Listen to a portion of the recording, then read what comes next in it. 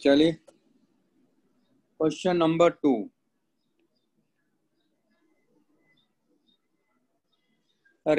is flowing with a speed of one kilometre per hour यानी ये अपने को रिवर दिया हुआ ऐसे।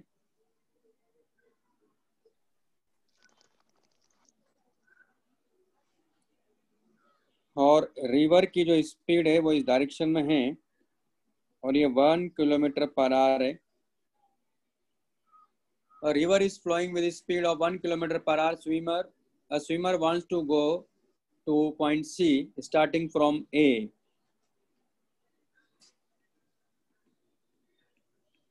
ये पॉइंट ए है और ये यहाँ इधर जा रहा है ये एंगल थीटा है और ये पॉइंट बी है और यहाँ कहीं पॉइंट सी है और कहाँ जाना चाह रहा है C point he swims with speed five kilometre per hour at an angle theta with respect to the river यानी velocity of swimmer with respect to river वो अपने को कितना दिया है? फाइव किलोमीटर पर आवर है। ठीक है? और ये कह रहा है कि A B equal to B C है ए बी इक्वल टू क्या है यहाँ? बी सी है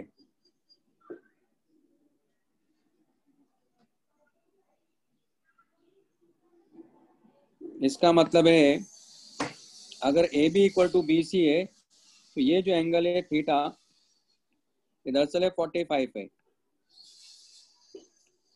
इसका मतलब ये इधर जा रहा है तो ग्राउंड के रेस्पेक्ट में इधर जा रहा है, यानी इसकी वेलोसिटी स्विमर की तो इधर होगी ना ग्राउंड के रेस्पेक्ट में। इसका मतलब है रिवर के रेस्पेक्ट में कहीं और जा रहा होगा। तो क्या पूछ रहा है? Then the value of theta अपने को बताना है, और रिवर के रेस्पेक्ट में इसने दे रखा है, लेकिन ग्राउंड के रेस्पेक्ट में ये 45 एंगल पे जा रहा है इधर। तो मान लेते हैं कि इधर कहीं जा रहा होगा ये। या तो इधर मान लेता हूँ मैं। आप कहो इधर मान सकते हैं। तो मैंने मान लिया कि इधर कहीं जा रहा होगा। ये velocity of swimmer with respect to river है। और ये फाइनली इधर आ रहा है। हमें कौन सा एंगल चाहिए? हमें दरअसल ये वाला एंगल चाहिए। ये पूछ रहा है कि ये एंगल क्या है थीटा क्वेश्चन में दे भी रखा तो मैंने। अच्छा वैसे ठीक है। तो इसने चलो इधर ही दे दिया। तो उधर ले जाने की ज़रूरत क्या है फिर? उधर मानने की ज़रूरत ही नहीं है। है ना? इसका मतलब ये इधर ही कहीं दे रहा थीटा को। तो यहाँ ऐसा मान सकते हैं कि ये इधर कहीं है। यानी ये वी एस आर वेक्टर है। ये जो एंगल है ना, ये ये थीटा है। तो रिवर इसको ऐसे घसीट के ला रही है।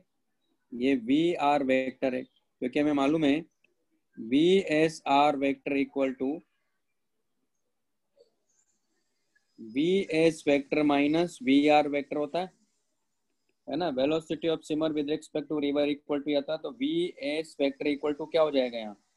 V S R vector plus V R vector हो जाएगा। तो ट्राइंगल ऑफ़ वेक्टर एडिशन से ये वेक्टर मिला के इस वेक्टर के इक्वल आ रहे हैं दोनों। ओके हमें तो थीटा चाहिए। तो यहाँ क्या करेंगे हम लोग? V S V S forty five दे रखा फोर्टी फाइव पे जा रहा है तो इसको क्या लिख सकते हैं हम लोग? V S cos forty five i cap plus V S sine forty five j cap equal to R इसको लिखेंगे V S R cos theta i cap plus V S R sine theta j cap plus और ये we are I cap अपने को, है ना तो यहाँ क्या करना है? आई कैप को आई कैप के साथ रखना है। यानी V S cos forty five equal to क्या होगा यहाँ? V S R cos theta plus V R ये अपने को दे रखा। वी एस आर कितना है? Five cos theta plus V R कितना दिया हुआ इसने? वन ये इक्वेशन नंबर वन हो गई हमारी। फिर हो गया V S sine forty five degree equal to V S R sine theta V S R कितना है? फाइव दिया है अभी। तो फाइव साइन थीटा है ना? ये इक्वेशन नंबर टू डिवाइड कर दो। यानी one is divided by two तुम्हारे पास आ गया cos forty five degree by sine forty five degree equal to five cos theta plus one by five sine theta और ये इक्वल टू क्या हो गया? वन आ गया। हमें इसको सॉल्व करना है। है ना? तो सॉल्व कर सकते हैं कैसे? Five cos theta plus one equal to ये हो जाएगा फाइव साइन थीटा इसको कन्वर्ट कर लो। तो five root one minus cos square theta solve कर लीजिएगा आंसर आ जाएगा। है ना? आपको आंसर मिल जाएगा। क्वेश्चन नंबर थ्री सर एक मिनट लिख रहे थे। हाँ लिख लो लिख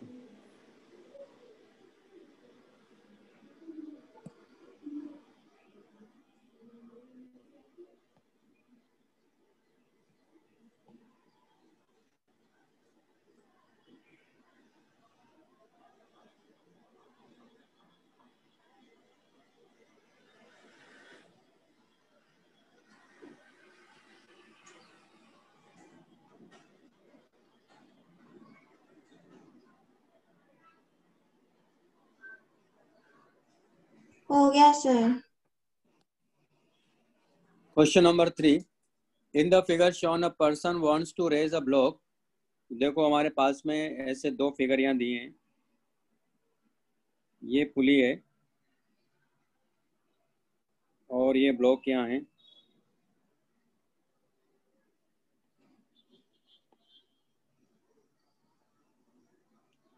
और ये आदमी इसको यहाँ से खींच रहा है। और ये ये पहला फिगर है। सेकंड फिगर में क्या हो रहा है यहाँ देखो। सेम पुली है। बस इसमें क्या हो रहा है लेकिन, यहाँ एक और इसने पुली लगाई है।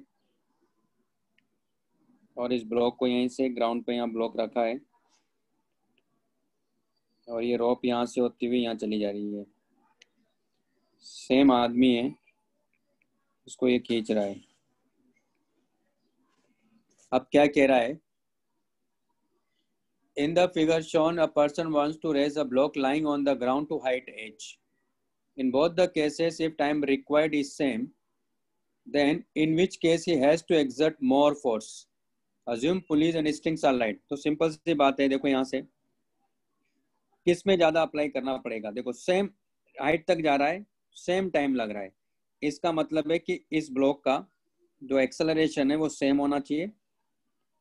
दोनों का एक्सेलरेशन क्या होना चाहिए? सेम होना चाहिए।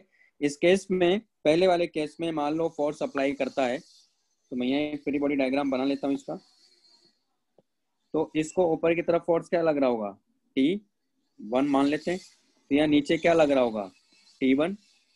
यहाँ क्या लग रहा होगा? T one. यहाँ भी क्या होगा? T one. है ना? और डाउनवर्ड इसको एम जी लगेगा ही लगेगा अगर इसका मास एम है तो। तो जब ये ऊपर जाएगा तो नॉर्मल तो ज़ीरो हो जाएगा। नॉर्मल की तो आप टेंशन मत करो, क्योंकि जैसे ऊपर जाएगा तो कॉन्टेक्ट ब्रेक हो जाएगा। यहाँ क्या लिखोगे आप? T one minus M G equal to M A यानी टी वन इक्वल टू क्या हो गया? M G plus M A दूसरे केस में आप देखो कि मान लो इसने टी टू फोर्स लगाया तो यहाँ टी टू होगा इस रोप में तो इधर इसको टी टू लग रहा होगा। यहाँ टी टू होगा, यहाँ भी टी टू होगा, यहाँ भी टी टू होगा, यहाँ भी टी टू होगा और डाउनवर्ड इसको एम जी लगी रहे तो आप देखो कि ऊपर की तरफ़ की अगर बात करें तो यहाँ देखो इसको ऊपर नेट फोर्स कितना लग रहा है? Two T two minus M G equal to M A ना? हमें तो टी ये चाहिए, देखो आप टी टू कितना मिल रहा है यहाँ? ये मिल रहा है M G plus M A by two आप देख रहे समझ में आ रहा है? कौन ज़्यादा है यहाँ? देखो टी वन ज़्यादा है। टी वन टी टू से क्या है यहाँ? ज़्यादा है। इसका मतलब पहले वाले केस में उसको फोर्स क्या लगाना पड़ेगा? ज़्यादा लगाना पड़ेगा। तो आंसर क्या हो गया? वन हो गया। ठीक है? ये कॉन्सेप्ट है। और यहाँ भी नॉर्मल इमीडिएटली क्या हो जाएगा? ज़ीरो हो जाएगा, क्योंकि कॉन्टेक्ट ब्रेक कर देगा। क्लियर भाई सबको? आगे चलें। क्वेश्चन नंबर फोर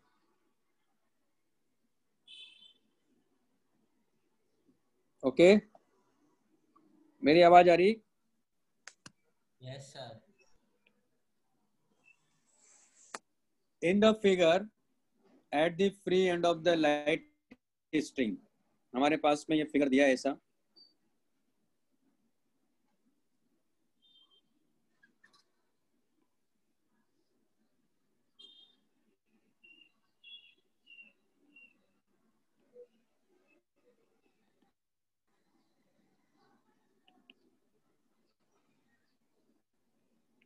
ये फोर्स यहाँ है एफ़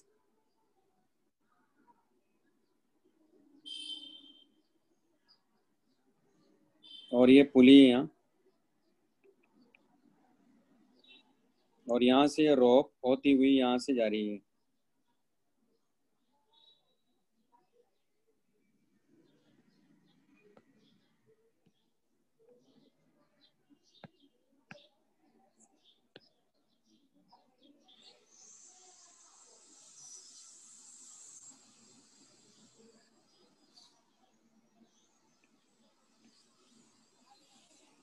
और यहाँ ये ये मास यहाँ अटैच है। ये 18 केजी है। ये पुली जो है लाइट है। और ये रोप एक ही है, देखो यहाँ।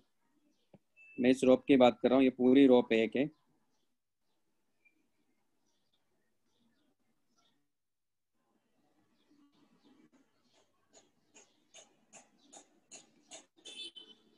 Okay okay. क्वेश्चन में क्या कह रहा है? In the figure at the end and at the free end of the light string of force F is applied to keep the suspended mass of 18 kg at rest यानी इसको rest पर रखना है okay then the force exerted by the pulling on this system assume that the string segments are vertical and the pulleys are light and smooth तो यहाँ हो क्या रहा देखो इसका फ्री बॉडी डायग्राम बनाते हैं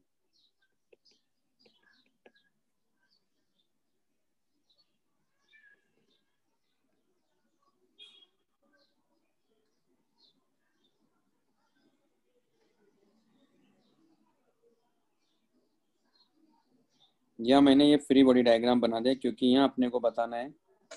तो यहाँ इसको फोर्स जो लग रहा होगा, यानी ये टी वन है, ये टी वन है। यहाँ अब देखो, यहाँ क्या हो रहा है, इसको मैंने मान लिया कि ये टी है। और यहाँ भी इसको, यहाँ का फ्री बॉडी डायग्राम बनाया तो यहाँ भी टी है। और इधर भी इसको टी लग रहा है। लेकिन इधर इसको नीचे क्या लग रहा है यहाँ? एफ़ लग रहा है। और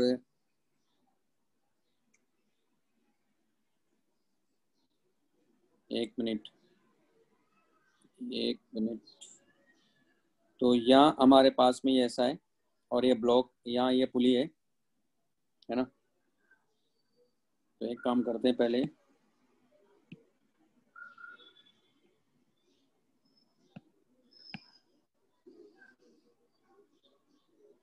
ये भी लग रहा होगा यहाँ। यहाँ भी टी है और ये पुली है हमारे पास में। और ये यहाँ से इसको ये लग रहा है, ठीक है? और नीचे क्या लग रहा है इसको? 18 डाउनवर्ड इसको लग रहा है 18 इंटू जी। और यहाँ जी की वैल्यू अपने को दिया हुआ है 10 मीटर पर सेकंड स्क्वायर है।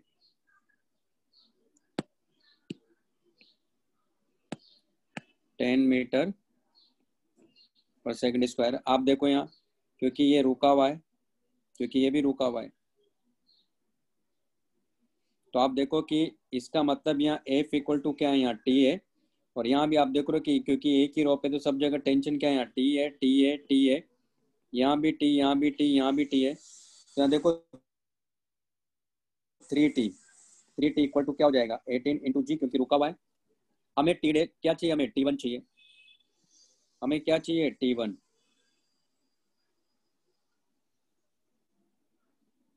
है ना? तो पहले तो हमें ये मिल गया और हमें एफ़ की वैल्यू भी पता है। एफ़ दे रखा है इसने। है ना? तो हमें बताना क्या है लेकिन इसमें? Then the force exerted by the ceiling on the system बताना है। यानी टी वन ही बताना है। ओके तो ये तो पता चल गया कि यानी एफ़ की वैल्यू क्या हो गई यहाँ? ये दे रखा है। एफ़ की वैल्यू टी है है ना? तो यानी थ्री टी इक्वल टू क्या हो गया? एटीन इंटू टेन यानी वन एटी यानी टी इक्वल टू कितना आ गया? सिक्सटी न्यूटन आ गया। अब यहाँ देखो, इसको, इस वाली को देखो। ये जो रेड लूप बनाया मैंने उसमें, आप देख रहे हो कि ये पुली मासलेस पुली है। तो ऊपर क्या लग रहा है इसको? टी वन और टी वन किसके इक्वल होगा? देखो, यहाँ से काउंट करो। T T T T four T और टी की वैल्यू क्या हमारे पास में? सिक्सटी कितना आ गया? फोर इंटू सिक्सटी इसका मतलब सीलिंग पर फोर्स जो लग रहा है वो कितना है? टू फोर्टी न्यूटन है। कितना है? टू फोर्टी न्यूटन क्लियर है भाई ये सबको? Yes sir question number six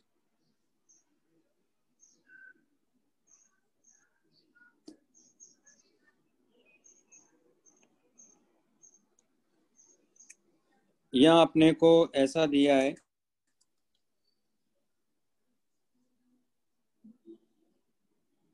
ये रोप इस तरह से। तो एफ़ इक्वल टू कितना हमारे पास में? टू एम जी ये ब्लॉक के डाउनवर्ड डायरेक्शन में।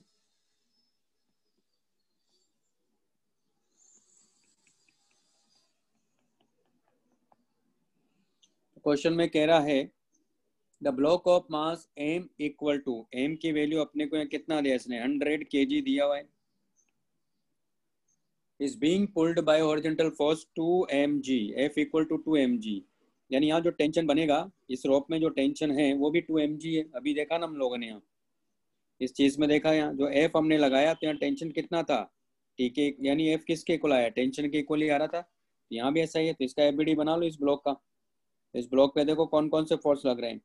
डाउनवर्ड एम जी लग रहा है तो अपवर्ड डायरेक्शन में क्या लग रहा है इसको? टी जो कि टी किसके इक्वल है? एफ़ के। तो इसका मतलब इसका एक्सलेशन ऊपर की तरफ़ मैंने मान लिया कि ए है तो क्या लिखेंगे? T minus M G equal to M A और टी की वैल्यू क्या है यहाँ? ये टी तो है तो two M G minus M G equal to M A यानी टू यानी कितना हो गया? G M G equal to M A यानी ए इक्वल टू कितना आ गया? जी यानी इसका एक्सलेशन किधर है?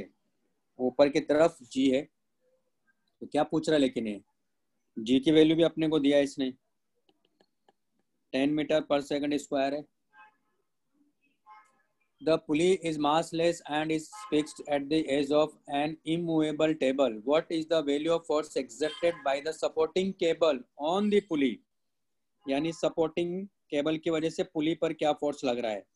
तो पुली पर आप देख रहे हो इसका एबीडी बनाओ पुली का। F B D of pulley ये तो मैंने एक्सेलरेशन निकाल दिया। तो यहाँ टेंशन कितना लग रहा है? टेंशन तो यहाँ टू एम लग रहा है। टेंशन की वैल्यू कितना है यहाँ? टू एम तो यहाँ अगर आप इसका फ्री बॉडी डायग्राम बनाओगे तो आप देख रहे हो कि पुलिस को इधर क्या लग रहा है? टी क्योंकि इधर क्या लग रहा था? देखो यहाँ, ये भी टी और ये भी टी था। और इधर क्या लग रहा था इसको?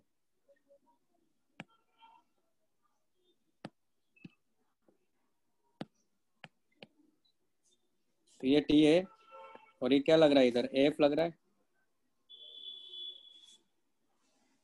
और ये पुली और इसको इधर भी, भी क्या लग रहा है? इसको टी लग रहा है? तो ये तो क्या होगा? क्योंकि मास लेस है तो एफ़ इक्वल टू क्या होगा यहाँ? टी होगा।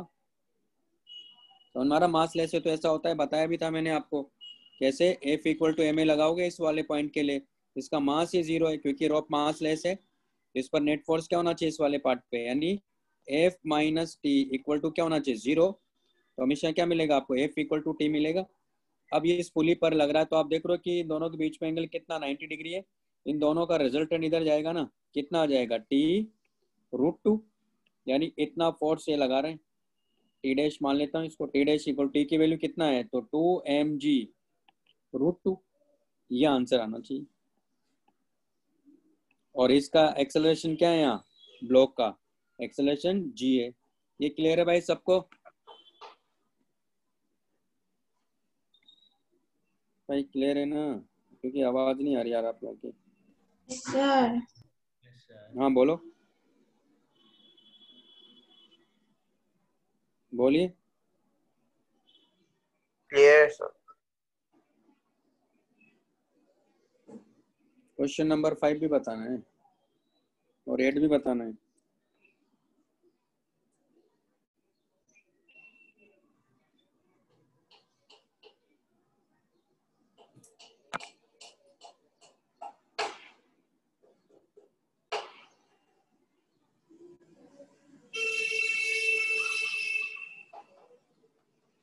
चलो क्वेश्चन नंबर फाइव पे चलते हैं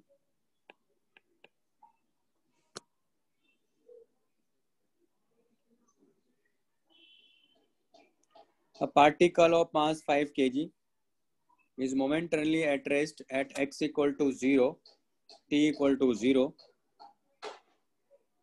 यानी ये फिगर है हमारे पास में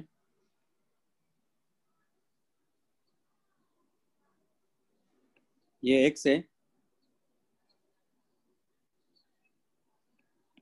ये y है।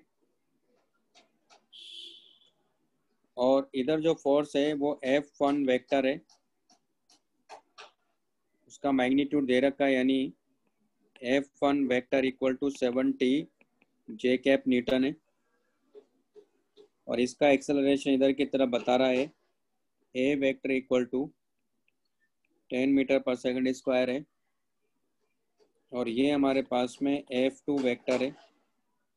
क्वेश्चन में कह रहा है it is acted upon by two forces F1 and F2.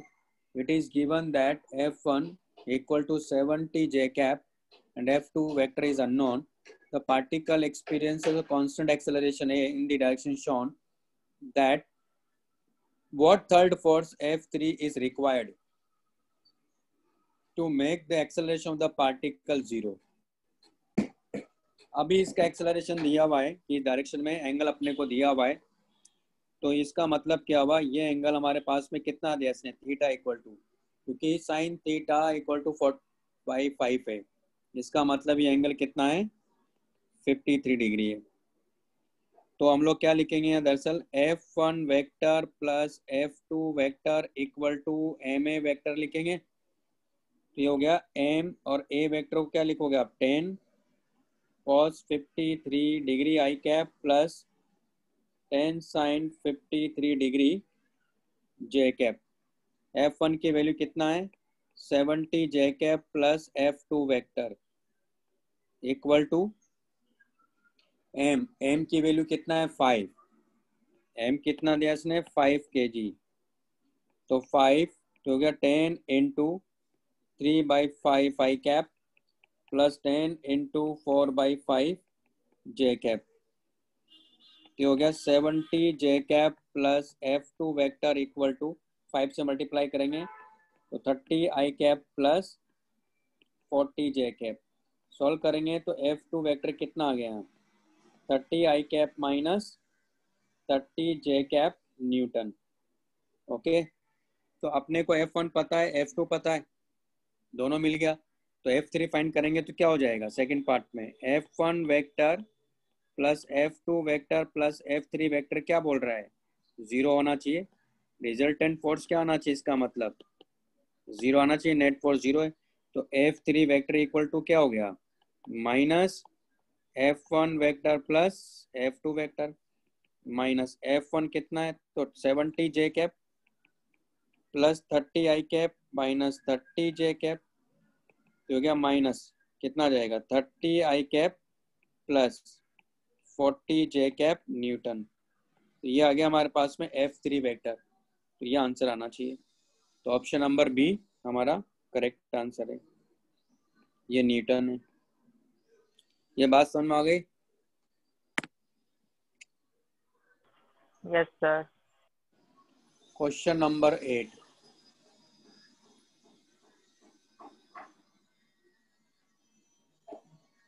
question number eight तो क्लास में बताया था।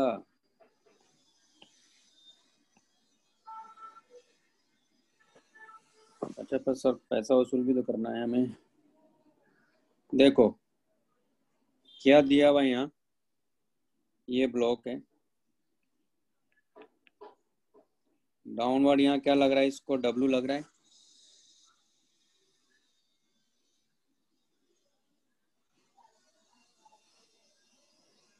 और यहाँ जो ये ये एंगल कितना बता रहा है?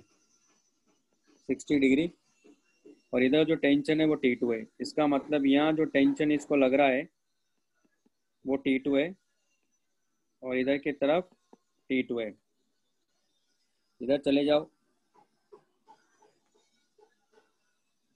तो ये जो एंगल है, कितना बता रहा है? थर्टी डिग्री बता रहा है। तो यहाँ जो टेंशन है, वो टी वन है। और यहाँ जो टेंशन है वो भी टी वन है। ओके तो हमें बताना है कि कौन सा होगा। इसमें तो मैं पहले ही बता चुका हूँ वैसे तो। इसको पॉइंट मास मान लो। तो डाउनवर्ड क्या लिखोगे इसको? डब्लू वेक्टर और यहाँ देखो आप इसका। ये इसका इधर है टी टू वैक्टर है ना? वो अगर सिक्सटी है तो फिर एंगल कितना है? थर्टी डिग्री है। और इसका इधर होगा। टी वन वैक्टर ये एंगल कितना होगा? सिक्सटी डिग्री होगा। अब इन तीनों का रिजल्टेंट का वो बताना है, अपने को क्या मिलेगा। तो कोई भी एक वेक्टर को चूज़ कर लो पहले। तो मैंने मान लो इसको चूज़ किया तो ये किधर है? नीचे की तरफ़ है। तो डब्लू वेक्टर और फिर टी टू ले लिया मैंने। तो टी टू इसके क्या रखेंगे? इसके? तो टी टू को यहाँ ऐसे लेके जाएँगे। या टी टू ले लो टी वन ले लो, कोई बात नहीं, कोई भी एक चीज़ ले सकते हो। मैंने टी टू ले लिया मान लो पहले। तो टी टू क्या होगा इसका? इधर होगा, है ना, इधर की तरफ़।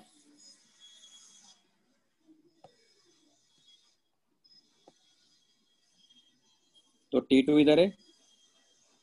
इसका मतलब है कि टी वन जो है वो इधर है। तो दे रखा है। तो ये टी वन वेक्टर है, ये टी टू वेक्टर है। तो एक आंसर ये हो सकता है इसका, है ना? दूसरा आंसर ये भी हो सकता है कि मान लो मैंने पहले डब्लू को चूज़ किया उसके बाद मैं टी वन को चूज़ कर रहा हूँ। तो टी वन क्या होगा? इधर की तरफ़ होगा ना?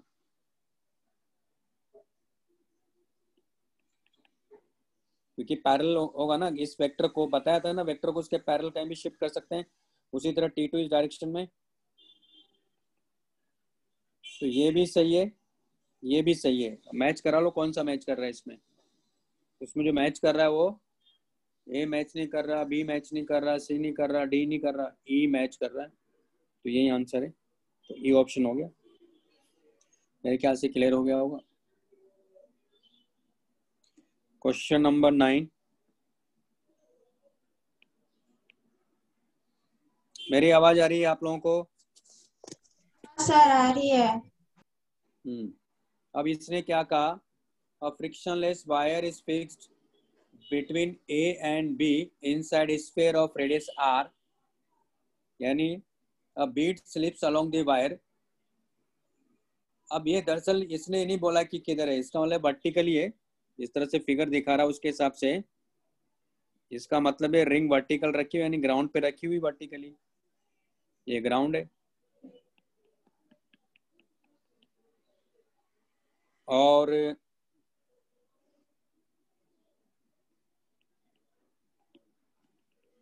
और जो वायर है, उसने वायर ऐसे लगा रखा है।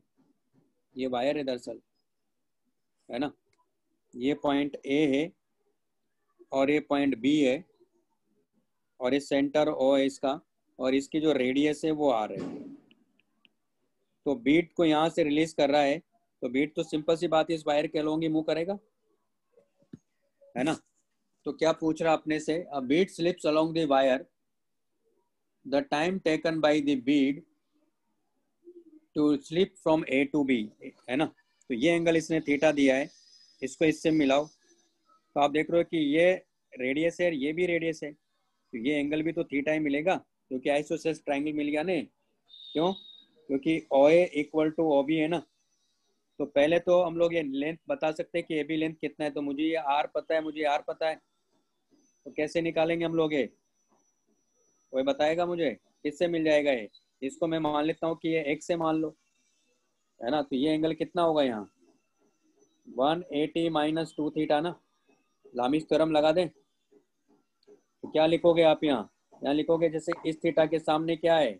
ये आर है। तो आप लिखोगे R by sine theta equal to दूसरे वाले के सामने भी है तो इसका सामने क्या है लेकिन? तो जाएगा X by sine one eighty minus two theta हमें तो एक्स चाहिए तो R sine theta equal to क्या होगा? X by sorry sine two theta हो जाएगा ये तो। साइन टू थीटा की वैल्यू आपको पता ही है, क्या लिखते हैं? तो R by sine theta equal to X by two sine theta cos theta इससे कैंसिल आउट हो गया। तो आप देख रहे हो कि हमें यहाँ से एक्स की वैल्यू क्या मिल गई? टू आर कॉस थीटा मिल गई। तो एक्स की वैल्यू क्या हमारे पास में यहाँ? टू आर कॉस थीटा हो गया। अब यहाँ ध्यान से देखो, ये वर्टिकल में अगर रखा तो इसको एम जी किधर लगेगा एम जी तो डाउनवर्ड लगता है ना मिशा तो अगर ये एंगल थीटा है तो एम का एक कंपोनेंट क्या होगा इधर? तो एम का क्योंकि एम तो वर्टिकल है, इसका एक कंपोनेंट हो जाएगा एम जी कॉस थीटा ना। क्या हो जाएगा? एम जी कॉस थीटा उसी डायरेक्शन में इसका एक्सलरेशन भी मान लेता हूँ मैं। उसी डायरेक्शन में इसका एक्सलरेशन मान लेते हैं कि ए है। तो क्या लिखोगे आप वहाँ? M A equal to M G cos theta ना? यानी इस केस में ए इक्वल टू क्या आ गया? जी थीटा तो ये पूछ रहा है कि टाइम कितना लगेगा, है ना? तो आपको मालूम है कि इनिशियल वेलोसिटी की क्या है? ज़ीरो है। जब इसको यहाँ से रिलीज़ किया था हमने, इसकी इनिशियल वेलोसिटी ज़ीरो और ये डिस्टेंस आपको पता ही है, क्योंकि ये ए और ये बी है। जब टाइम की बात कर रहा है तो एक्सल क्या यहाँ कॉन्स्टेंट है। तो हम लोग क्या लिखेंगे? S equal to U T plus half A T square ये तो ज़ीरो ही है। एस कितना लेकिन यहाँ? एस का मतलब ये एस ये कितना हो गया? एक्स की वैल्यू तो two R cos theta equal to half और जी की वैल्यू क्या है यहाँ? G cos theta into T square cos theta से कॉस थीटा कैंसिल आउट हो गया। तो four R by G equal to T square यानी टी इक्वल टू आ गया हमारे पास में root four R by G four में से बाहर लेंगे टू कितना आ गया? ऑप्शन नंबर ए यानी इसको आप ऐसे भी लिख सकते हो T equal to two root R by G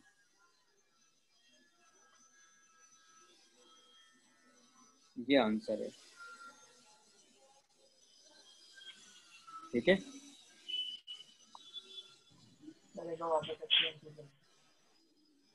बोलिए कोई डाउट है? सर एक बार वापस एक्सप्लेन कीजिए मैं ये कह रहा हूँ कि वो तो फिर से बता देता हूँ ज़्यादा अच्छा है। फिर से समझ लो। ये वर्टिकल है। ठीक है? ये ग्राउंड है।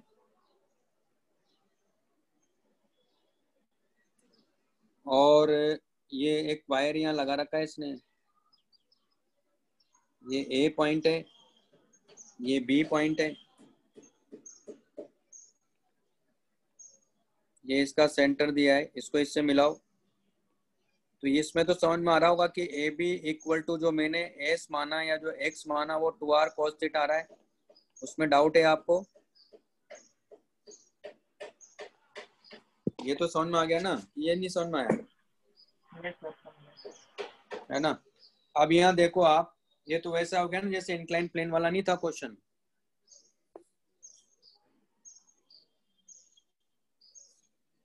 इंक्लाइन प्लेन पे अगर इसको हम छोड़ेंगे तो किधर जाएगा? इसको डाउनवर्ड एम लग रहा होता है।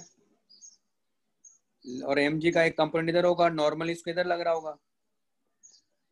तो नॉर्मल को कौन बैलेंस कर रहे हैं? क्योंकि एंगल थीटा है तो फिर इधर कंपोनेंट क्या आता है? एम जी कॉस थीटा आता है, इधर क्या आ जाता है? एम जी साइन थीटा आ जाता है। इसको क्या करते हैं? फिर हम लोग एम ए करते हैं। ए की वैल्यू यहाँ क्या आती है? जी साइन थीटा लेकिन थीटा यहाँ से, इसलिए जी साइन थीटा आ रहा है। यहाँ थीटा यहाँ से दिया हुआ है। तो इस केस में क्या और इसको डाउनवर्ड एम जी लग रहा है? एम जी का एक कंपोनेंट क्या होगा? एम जी का एक कंपोनेंट क्या होगा यहाँ? इस डायरेक्शन में जो एम का कंपोनेंट है, वो कितना है? एम जी कॉस्टिटा है ना?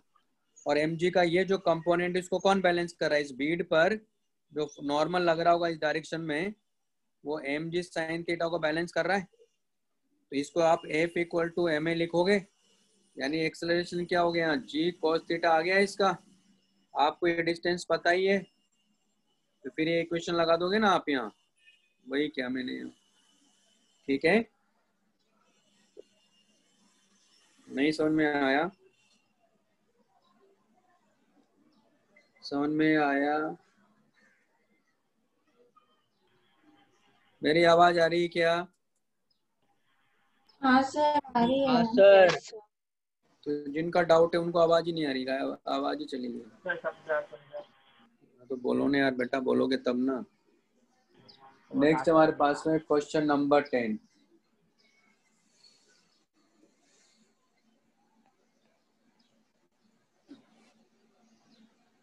ये हमारे पास में, अब देखो ये रोप अलग है और यहाँ इसने ये नोट लगा रखा है एक तरह से तो ये रोप इधर अलग बन जाएगी।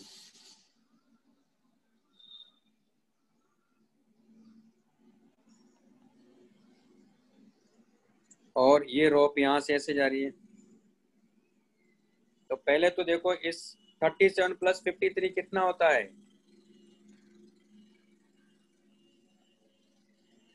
नाइन्टी 90 होता है। इसका मतलब पूरा एंगल 90 डिग्री है, मैं उस हिसाब से बना रहा हूँ इसको।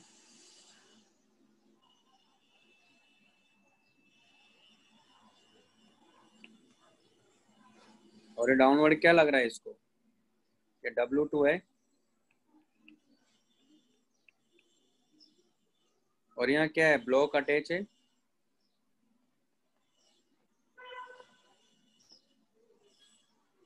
और ये जो एंगल है, ये 53 दिया है, ये जो एंगल है 37 दिया है। Two weights W1 W2 in equilibrium and address equilibrium पर है है ना? तो देन रेशियो बताना है अपने को W1 वन बाय डब्ल्यू ये क्या होगा? ये यानी पूरा सिस्टम इक्विब्रियम पर ही है। इसका मतलब ये भी रेस्ट पर है। तो मान लेते हैं कि यहाँ जो टेंशन है, वो T2 है। और यहाँ जो टेंशन है वो टी वन है। तो आप देख रहे हो कि टी टू इक्वल टू क्या हो जाएगा यहाँ? W2 क्योंकि ये रुका हुआ है। तो नेट फोर्स क्या होना चाहिए इस पे? ज़ीरो तो अगर टी वन इधर है तो यहाँ भी टी वन ही होना चाहिए। और इधर भी टी वन होना चाहिए। तो टी वन तो सॉरी टी टू है नहीं T2 होना चाहिए। ये भी टी टू और ये भी टी टू है। और इधर का टेंशन मान लेते हैं कि टी वन है। तो रिजोल्व कर लेंगे यहाँ। तो यहाँ देखो डाउनवर्ड क्या है? W1 और आप चाहो तो ये भी कर सकते हो। रिजोल्व करने की ज़रूरत क्या लामिस थ्योरम लगाओ। है ना? कर लेते हैं उससे। तो कैसे? इसका फ्री बॉडी डायग्राम बनाओ। इसको डाउनवर्ड क्या लग रहा है? W1 इसको इधर क्या लग रहा है? T1 इसको इधर क्या लग रहा है? T2 जो कि W2 ही है। अब यहाँ देखो, इन दोनों के बीच में एंगल तो पता है मुझे। लेकिन मुझे ये भी पता है कि एंगल कितना है।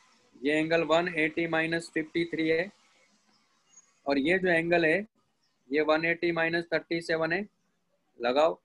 ये एंगल पता है मुझे? 180 एटी माइनस फिफ्टी डिग्री ये एंगल पता है। 180 एटी माइनस थर्टी डिग्री हम इस थ्योरम लगाएँगे तो T one by sine one eighty minus thirty seven W two by sine 180 eighty minus fifty three यानी टी वन भी फाइंड कर सकते हैं यहाँ से, इनका रेशियो तो मिल ही गया। डब्लू वन बाई क्या हो गया? साइन 90 हमें तो W two W one by W two चाहिए। तो साइन 90 तो वन ही हो गया। तो वन डिवाइडेड बाई साइन क्या लिखेंगे इसको? 53 equal to W one by W two sine fifty three की वैल्यू क्या होती है? फोर बाई फाइव यानी फाइव बाई फोर ये आंसर आना चाहिए। फाइव बाई फोर बात समझ में आ गई? ये भी हो गया। क्वेश्चन नंबर सिक्सटीन सर ये थियरम का नाम बताना एक बार। क्या हुआ? सर इस थियरम का नाम क्या है जो अभी हमने लगाया? यार ये तो मैं तुम्हें भी भूल गया। आपने जैसे पूछा ना तुरंत भूल गया मैं।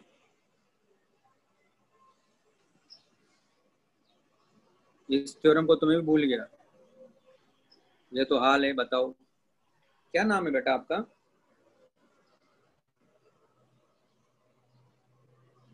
आपका नाम बताएँगे मुझे क्या है? कौन हो बेटा, आप नाम बताओगे मुझे? अरे तभी तो मुझे पता चलेगा भाई, आप बी को यार। कौन हो आप? स्वास्तिक। तो बेटा आपने कभी पढ़ा ही नहीं है थ्योरम? हाँ?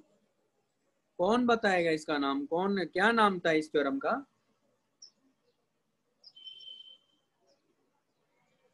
आदित्य आप बताइए तो। कीर्ति आप बताओ तो। Lami's theorem. हम्म। ये पढ़ाया था मैंने पहले कभी? हाँ स्टार्टिंग में पढ़ाया था मैथमेटिकल टूल्स में। स्टार्टिंग में कब पढ़ाया था? मैथमेटिकल टूल्स जब शुरू हुआ था। अच्छा यहाँ यहाँ नहीं बताया था? एनएलएम में भी नहीं बात करी थी क्या मैंने लामिस थ्योरम के बारे में? किया था दोबारा हाँ, किया था। रिलेटिव रिलेटिव मोशन में किया था क्या? नहीं सर एनएलएम में किया था स्टार्टिंग अरे मैडम आपको को भी पता नहीं रिलेटिव मोशन में भी तो किया अभी भी एक क्वेश्चन करवाया था ना। एक नहीं था एरोप्लेन वाला क्वेश्चन भी तो करवाया था वहाँ भी तो यूज़ किया था। एक एरोप्लेन जाता है A to B one thousand kilometer distance cover करता है, वो अल्फ़ा एंगल पूछ रहा होता है। बहुत बढ़िया है। बहुत अच्छी प्रिपरेशन चल रही है भाई ये तो। मालूम ही नहीं क्या चल रहा है। थ्योरम का नाम क्या था सर बताइए क्या बताएँ? जो मन में आए कर लो यार, अब क्या कहें? लग रहा है जैसे मैंने पहली बार ही बोला थ्योरम लामिस थ्योरम पहली बार बोला। अरे बेटा, मैंने इसको लामिस थ्योरम भी लिखवाया था, बोला भी था, यहाँ भी बोला था, यहाँ भी कई सारे क्वेश्चन करवाए थे। और साथ में मैंने ये कहा था कि इसको आप साइन रूल भी बोलते हो। ये भी बात हुई थी। बेटा, पढ़ाई कर लो यार। हम्म अच्छा रहेगा आपके लिए। नेक्स्ट हमारे पास में sixteen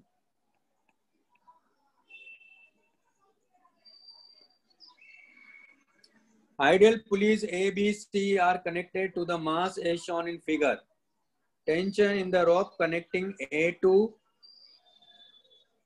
देखो tension in the rope connecting A to the ceiling पूछ रहा है। यानी क्या क्वेश्चन है, देखो।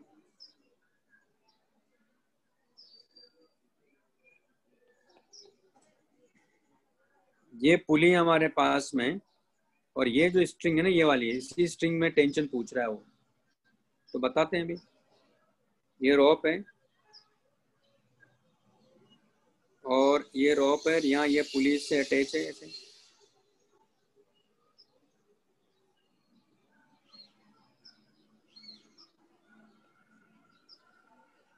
है ना? उसके बाद, यहाँ भी देखो आप, ये रोप पुली है। इस पुली को नीचे ले जाते हैं।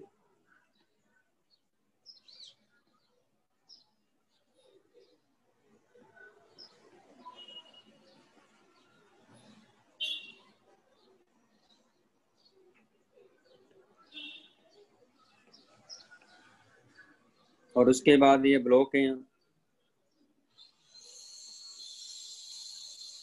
तो आप देख रहे हो कि ये पुली ए है, ये पुली बी है, ये पुली सी है है ना? और इसको डाउनवर्ड, ये किस, इसका मास एम है, इसको डाउनवर्ड कितना लग रहा है यहाँ? एम जी लग रहा है। अब आप देखो कितनी रोप है यहाँ, तीन रोप है। कौन कौन सी? एक तो रेड है और एक ये ब्लैक वाली रोप है।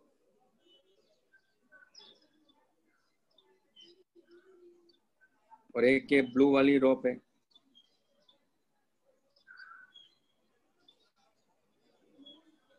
तीन रोप है एक रेड है, एक है ना, एक डार्क ब्लैक में और एक ग्रीन ब्लू में मैंने बताया है।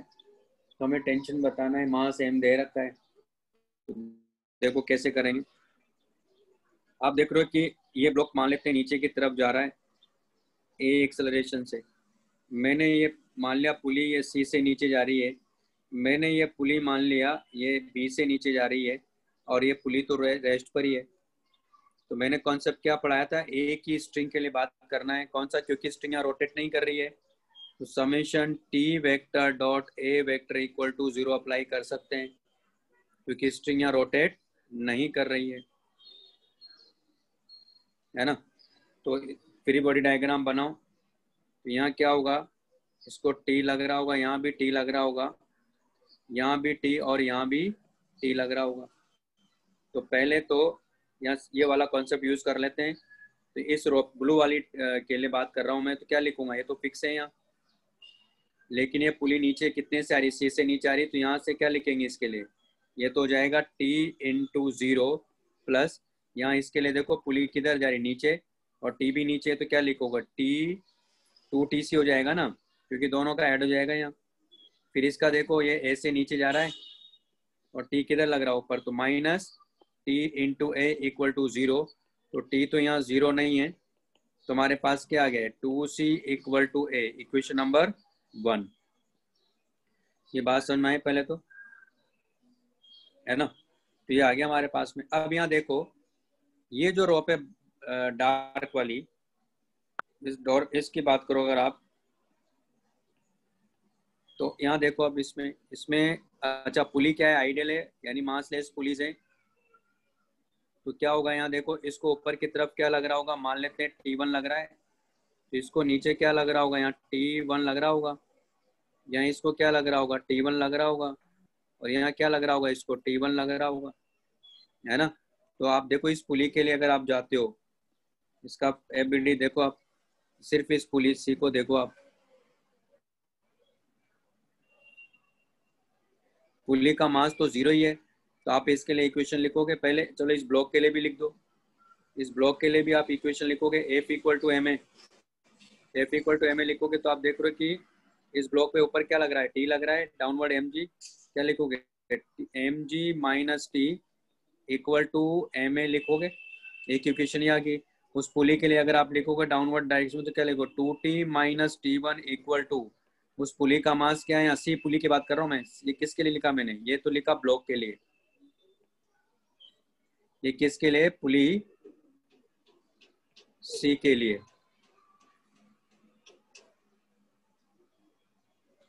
तो ये आ जाएगा तो आप देख रहे हो तो ज़ीरो इंटू सी करेंगे। तो यानी टू टी इक्वल टू क्या आ गया? टी वन आ गया। ये बात समझ मारी सबको? है ना? और अब यहाँ देखो ब्लैक वाली स्ट्रिंग के लिए लगाऊँगा मैं कंस्टेंट तो आप यहाँ देखो, मुझे एक चीज़ बताइए, ये पुली मूव कर रही क्या? ये वाली पुली मूव कर रही क्या? आपको लग रहा है कि पुली मूव कर रही है? नहीं मूव कर रही है। इसका मतलब इसका एक्सेलरेशन ज़ीरो हो गया। इसका एक्सेलरेशन ज़ीरो हो गया तो बी का भी क्या हो गया यहाँ? यानी अगर बी ज़ीरो है तो सी भी ज़ीरो हो गया सी ज़ीरो हो गया तो ए बी ज़ीरो हो गया। और ए बी ज़ीरो हो गया तो यहाँ देखो क्या जाएगा? M G minus T equal to zero यानी टी की वैल्यू क्या आ गई यहाँ? एम जी आ गई है। क्योंकि ये पूरा का पूरा पुलिस सिस्टम क्या है यहाँ? रुका हुआ है, क्योंकि ये पुलिस देखो काम मुँह कर रही है। कर ही नहीं सकती। क्यों? क्योंकि यहाँ देखो ना, ये जिस रेड रेड रॉप से जिससे बंधी हुई है, वो यहाँ भी तो फिक्स है। तो ये पुली नीचे नहीं आ रही है। इसका एक्सलेशन ज़ीरो तो फिर सी का भी ज़ीरो ना पड़ेगा, क्योंकि सी भी मुँह नहीं कर रहा है। जब सी मुँह नहीं कर रहा तो फिर ये भी मुँह नहीं कर सकता। इसका मतलब सबका एक्सलेशन क्या है यहाँ? ज़ीरो है तो टी इक्वल टू क्या हो गया? एम जी तो टी इक्वल टू अगर एम जी है तो टी वन कितना आ गया यहाँ? टी वन आ गया टू एम जी ओके अब T one two M G आ गया तो ध्यान से देखो आप यहाँ। यहाँ देखो, इसको ऊपर की तरफ़ क्या लग रहा होगा? मान लेते हैं टी टू है, इसको क्या लग रहा होगा? टी टू है, इसको क्या लग रहा होगा? टी टू है, और इसको क्या लग रहा होगा? टी टू है। अब इस पुली बी को देखो आप। तो पुली बी के लिए जब आप जाओगे यहाँ तो पुली बी भी मास लेस है तो क्या लिखोगे आप? Two T one equal to two T लिखो टी वन की वैल्यू पता है तो कितना हो गया? Four M G equal to T two हो गया। अब उस पुली के लिए जाओ, इस वाली पुली के लिए जाओ, इसका एफ़ बनाओ। जब उस पुली के लिए आप बात करोगे तो इसको क्या लग रहा है? मान लेते हैं टी थ्री लग रहा है। यहाँ भी क्या, क्योंकि ये ए पुली है, और ये भी क्या लग रहा है? टी थ्री लग रहा है। नीचे इसको क्या लग रहा है? लेकिन यहाँ टी टू यहाँ क्या लग रहा है इसको टी टू और ये पुली क्या रुका हुआ है मासलेस भी है। तो टी थ्री इक्वल टू क्या हो जाएगा? टू टी टू और टी टू की वैल्यू ये आ गई तो कितना आ गया? एट एम जी इसका मतलब सीलिंग पर फोर्स कितना लग रहा है? एट एम जी का लग रहा है। आंसर आना चाहिए इसका सी ऑप्शन ये बात समझ में आई सबको?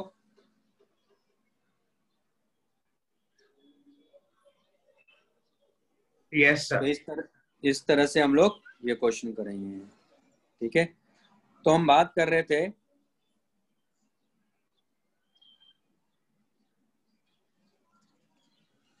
एनएलएम की बात कर रहे थे हम लोग। मैंने रोटेट करने वाला कॉन्सेप्ट आपको पढ़ा दिया था कि स्ट्रिंग रोटेट करेगी तो क्या होगा? बात हो गई थी, है ना? और उसके पहले स्ट्रिंग स्ट्रेट था तो वो भी बात हो गई थी। अब बात करते हैं कि अगर मान लो जो ब्लॉक के ऊपर अगर ब्लॉक है, यानी रिलेटिव मोशन हो रहा है तो कंस्टेंट मोशन ठीक है? कि हम लोग यहाँ बात करेंगे अब, जब रिलेटिव मोशन हो रहा है, यानी ब्लॉक्स का क्या हो रहा है relative motion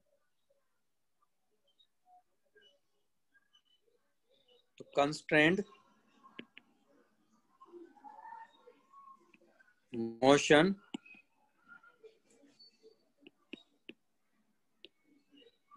in case of relative motion. ये कैसे अप्लाई करना है? है ना? तो ये थर्ड पार्ट हो गया हमारे पास में। जैसे मैं एग्जांपल लेता हूँ, सबसे पहले एक सिंपल एग्जांपल है। मान लो ये एक बेस है। यानी ट्राइंगुलर एक ब्लॉक है। और ये एंगल थीटा है। और यहाँ मान लो ये पुली है।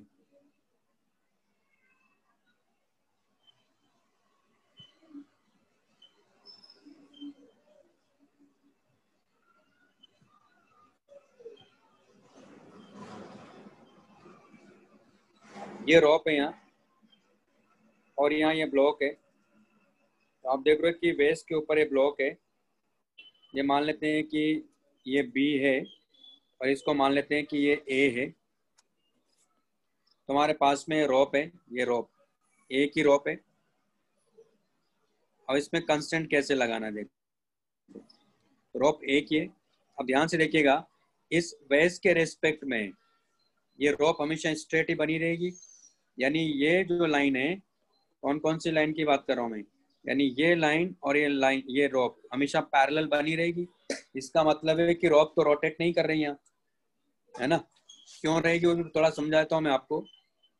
मान लो जैसे कि कुछ टाइम बाद, ये तो क्योंकि फिक्स है यहाँ।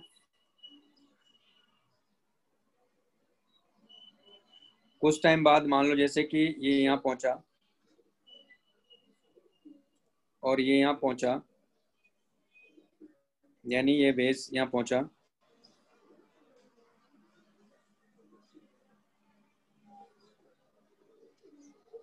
और ये पुली है। तो आप देखोगे कि ये ब्लॉक यहाँ कहीं पहुँचा होगा ऐसे, इसके रेस्पेक्ट में।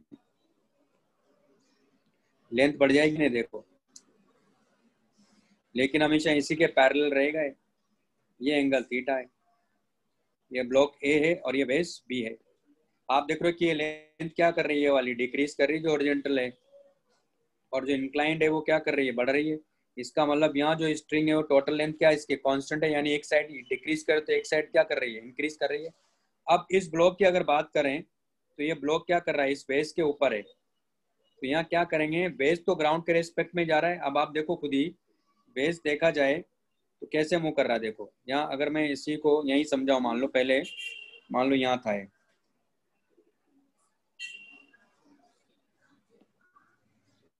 क्योंकि यहाँ था ना, मान लो ये।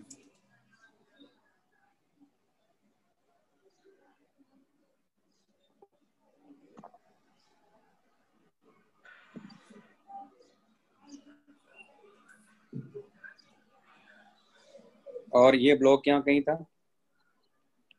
आप देखो ग्राउंड के रेस्पेक्ट में ब्लॉक किधर जा रहा है? देखो, इधर कहीं आ रहा है। आ रहा है कि नहीं आ रहा है? लेकिन वेस्ट के रेस्पेक्ट में कैसे जा रहा है? इधर जा रहा है इसके अलोंग ये बात समझना है पहले तो। ग्राउंड के रेस्पेक्ट में कैसे जा रहा है? इधर कहीं जा रहा है। है ना? यहाँ कंस्टेंट कैसे लगाएँगे फिर? तो क्या करना है हमेशा? एक पॉइंट याद रखना है। भाई, ये तो ग्राउंड के रेस्पेक्ट में जा ही रहा है। तो इसका तो एक्सेलरेशन ग्राउंड के रेस्पेक्ट में मान लूँगा, यानी acceleration of B with respect to ground वो बी होगा। लेकिन ए का एक्सेलरेशन हमेशा हम लोग क्या करेंगे, यानी acceleration of A with respect to B मानेंगे, जो कि ए मान लो। है ना? क्या मान लेंगे? Acceleration of A with respect to B जो कि ए मान लिया मैंने।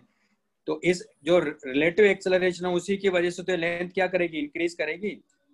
है कि नहीं, या डिक्रीज करेगी, जो भी होगा। तो कंस्टेंट कैसे लगाना है? तो इसका एबीडी बनाओ। ये तो क्लियर है पहले तो पूरा पिक्चर क्लियर है सबको? हाँ है ना? अब इसका एबीडी बनाते हैं।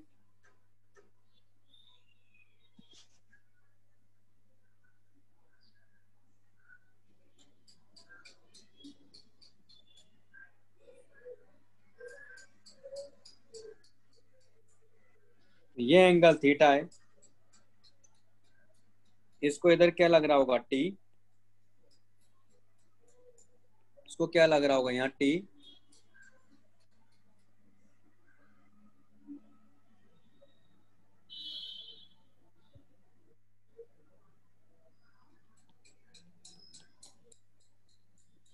और इसको इधर क्या लग रहा होगा? टी। और इसको क्या लग रहा होगा? टी। और ये इधर A A B equal to A से जा रहा है और ये इधर ये बी से जा रहा है। Acceleration of B with respect to ground जो है वो ये अब इसमें ध्यान है रखना है कि आप देख रहे हो कि ए ए बी क्या है? इसके रेस्पेक्ट में वेस के रेस्पेक्ट में। तो वेस के रेस्पेक्ट में तो जिसके रेस्पेक्ट में बात करेंगे उसको रोकेंगे ना एक तरह से। तो जब उसको आप रोकोगे तो यानी ये पुली भी रुक गई एक तरह से। तो ये वाला जो पार्ट है ना यानी इसका मतलब वेस के जब ये वाला लिखेंगे हम लोग यहाँ कंसेंट ये वाला कंसेंट लगाएँगे यहाँ summation T vector dot A vector equal to zero कैसे लगाएँगे? देखो यहाँ से स्टार्ट करते हैं पहले इस वाले पॉइंट से। ये तो रुका हुआ है। ये तो रुका हुआ है तो यहाँ क्या हो जाएगा? ये तो ज़ीरो हो गया प्लस ये देखो ये वाला एंड किधर जा रहा है? इधर। कितने से? बीस से तो क्या लिखेंगे? टी टू बी लेकिन इसका, क्योंकि हम लोग जब इसका लिख रहे हैं तो इसके रेस्पेक्ट में जाके लिख रहे हैं। इसका मतलब उसके रेस्पेक्ट में जाके लिखेंगे तो ये वाला, इसका मतलब वेस्ट तो क्या हो गया? रेस्ट पर आ जाएगा।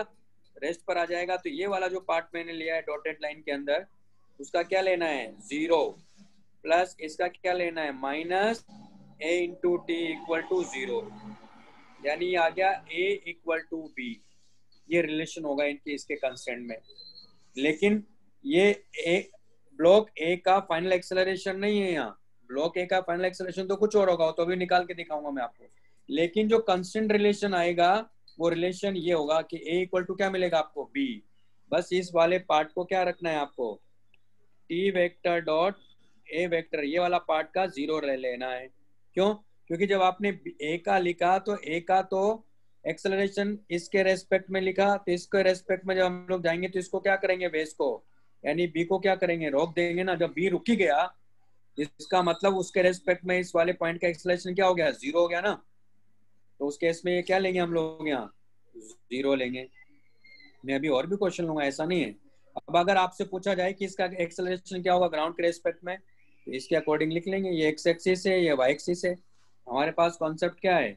Acceleration of A with respect to b equal to acceleration of a with respect to ground. Minus acceleration of b with respect to ground. तो ए ए ए बी क्या लिखेंगे? देखो, ये एंगल कितना होगा यहाँ? ये एंगल थीटा आता है। क्या लिखोगे इसको? A A B cos theta I cap minus क्योंकि डाउनवर्ड भी तो होगा नहीं इसका, और इधर भी होगा। तो minus A A B sine theta J cap equal to A A vector minus minus B I cap क्योंकि उसका एक्सलेशन उधर है। तो हमारे पास ए ए बी कितना है यहाँ? ए क्या है? तो A cos theta I cap minus A sine theta J cap equal to A A vector plus B I cap इसको उधर ले जाते हैं। तो हमारे पास ए वेक्टर इक्वल टू आ गया। A cos theta minus B I cap minus A sine theta J cap ये आंसर होगा और ए इक्वल टू बी है ही हमारे पास में। तो रिलेशन आ जाएगा, अगर अगर ए गिवन होगा तो बी मिल जाएगा और बी गिवन होगा तो ए मिल जाएगा। अब ये क्या इंडिकेट कर रहा देखो, ये इंडिकेट कर रहा है कि पॉजिटिव है। इसका मतलब इसका एक कंपोनेंट इधर है, एक कंपोनेंट इधर है। नेगेटिव ये साइन इंडिकेट कर रहा था, यानी ये इधर की तरफ़ जा रहा है। ठीक है? तो ये ऐसा ही तो देखो इधर कहीं जा रहा था।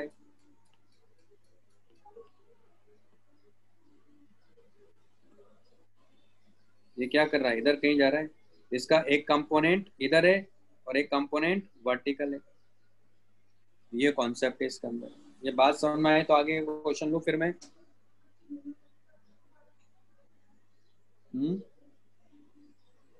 हेलो ये आवाज़ मेरी बात समझ में आई?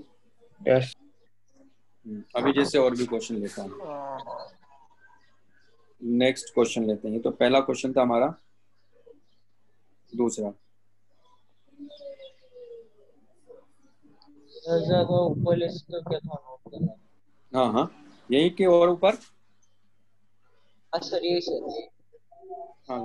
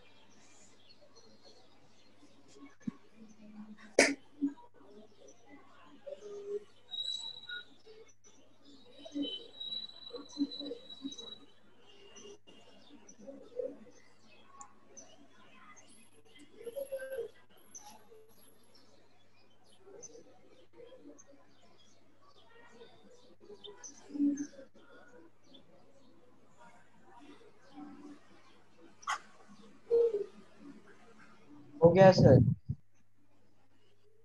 अब जैसे नेक्स्ट एग्जांपल है यहाँ।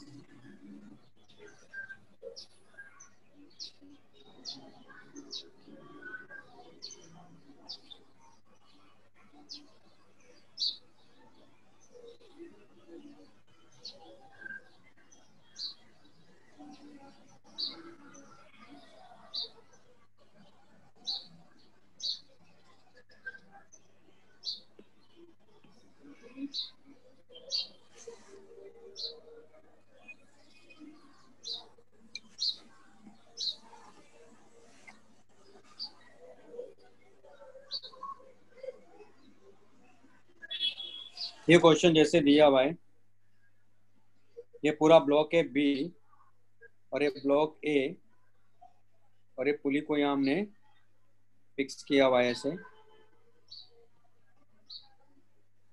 ये वॉल है यहाँ, ये तो फिक्स वॉल है। अब अपने को यहाँ भी रिलेशन बताना है, यानी यहाँ भी अपने को एक्सेलरेशन बताना है और इस स्ट्रिंग में कितना टेंशन होगा ये सब बताना है। तो आप देख रहे हो कि ये जब ब्लॉक नीचे की तरफ़ जाएगा तो किसके रेस्पेक्ट में जा रहा है? देखो ये ब्लॉक यानी इसके रेस्पेक्ट में बी के रेस्पेक्ट में इसके अलोंग मूव करेगा ये ऐसा? तो यहाँ इसका एक्सेलरेशन क्या मानेंगे? Acceleration of A with respect to B मानेंगे। और जब ये नीचे जाएगा तो आप खुद ही देखिए लेंथ क्या करेगी? ये वाली जो लेंथ है, कौन सी लेंथ की बात कर रहा हूँ मैं? ये वाली लेंथ इंक्रीज करेगी। अब ये लेंथ इंक्रीज करेगी, इसका मतलब ये जो लेंथ है, ये ये ये, इसको डिक्रीज करना पड़ेगा। इसका मतलब हुआ कि ये क्या करेगा? इधर की तरफ़ मूव करेगा, मान लेते हैं बी एक्सेलरेशन से। यानी acceleration of B with respect to ground B दिया हुआ है, और acceleration of A with respect to B मैंने मान लिया कि ए है ये। अब यहाँ कंस्टेंट लगाएँ। क्यों? क्योंकि ब्लॉक बेस के ऊपर रखा हुआ है। यहाँ बेस आया था, देखो आप। ब्लॉक किसके ऊपर रखा हुआ था? बेस के ऊपर रखा हुआ था, है ना? तो यहाँ भी ऐसा रखा हुआ है। मेरे ख्याल से क्लियर है कि नहीं है? भाई विजुलाइज हो रहा है ना हो क्या रहा है इसके अंदर? आगे चले। विजुलाइज हो रहा है कि नहीं हो रहा है? यस सर हाँ। अब क्या करेंगे? आप फ्री बॉडी डायग्राम बनाओ।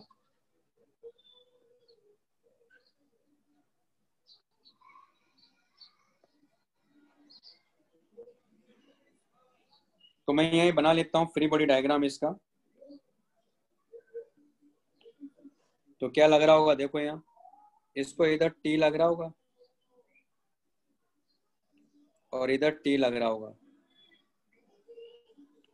ये टी है ये टी है इसको इधर टी लग रहा होगा। और इसको इधर टी लग रहा होगा। है ना? उसी तरह यहाँ देखो। यहाँ टी लग रहा होगा। और यहाँ इसको टी लग रहा होगा। उसी तरह यहाँ देखो। इसको टी लग रहा होगा और यहाँ इसको टी लग रहा होगा। ठीक है? और इसको यहाँ टी लग रहा होगा और इसको टी लग रहा होगा। ठीक है? अब यहाँ कंस्टेंट लगाना है अपने को। कौन सा? Summation T vector dot A vector equal to zero तो आप देखो कि ये तो फिक्स है पुली। ये वाला पॉइंट भी फिक्स है, ये भी फिक्स है, ये भी फिक्स है। लेकिन ये मूव कर रहा है बी से। ये भी बी से मूव कर रहा है लेफ़्ट साइड में, ये भी बी से और ये भी बी से। लेकिन जब इसके लिए लिखेंगे, ये जो वाला पार्ट है यहाँ, कौन सा वाला पार्ट ये। इस पार्ट का क्या लेना है अपने को? इस पार्ट का समेशन मतलब T vector dot A vector वाला पार्ट क्या लेना है इस वाले के लिए? ज़ीरो लेना है। तो कंस्टेंट लगाते हैं हम यहाँ से। तो क्या हो जाएगा? यहाँ से स्टार्ट किया मैंने। तो क्या हो जाएगा? टी इंटू बी प्लस इसका ज़ीरो इसका ज़ीरो ज़ीरो प्लस ज़ीरो फिर यहाँ जाओ। ये किधर जा रहा है? बी बी से। तो क्या लिखेंगे? टी बी फिर यहाँ देखो, ये भी इधर जा रहा है। क्या लिखेंगे? टी बी फिर वापस यहाँ देखो, इस वाले पॉइंट पर ज़ीरो स्क्वायर का ज़ीरो ज़ीरो प्लस ज़ीरो अब इस वाले के लिए आओ। तो क्या लिखेंगे? टी इंटू बी और इस वाले का तो ज़ीरो ही लेना है। इस वाले का क्या लिखोगे? Minus A into T equal to zero. तो हमारे पास आ गया four B equal to A. यहाँ टी ज़ीरो नहीं है। तो ये रिलेशन आ गया। आगे बात सुन में। तो अगर ए दिया होगा तो बी मिल जाएगा और बी दिया तो ए मिल जाएगा। तो इस तरह से रिलेशन देंगे तो कर लेंगे हम लोग। यहाँ तक क्लियर है भाई सबको?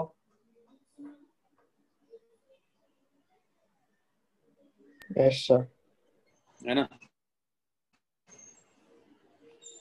तो लिख लेते हैं एक चलो एक और ले लेते हैं। हाँ हाँ।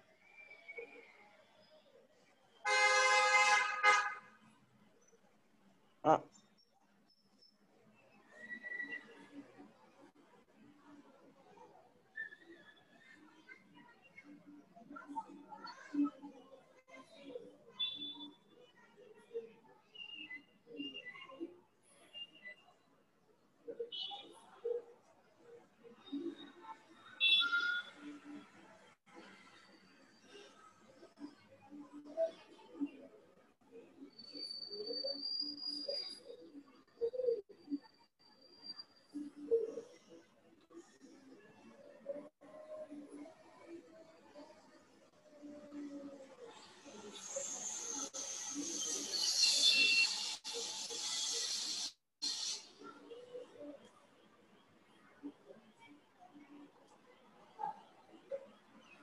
तो इसमें एक बार summation T vector dot A vector का वैल्यूज़ कैसे आप बताओ?